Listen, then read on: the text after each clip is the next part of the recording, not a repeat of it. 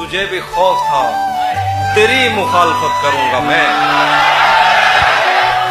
तुझे भी खौफ था, तेरी मुखालफत करूँगा मैं। और अब अगर नहीं करूँगा तो गलत करूँगा। उसे कहो कि अहद तर के रस्म राह लिख के दे।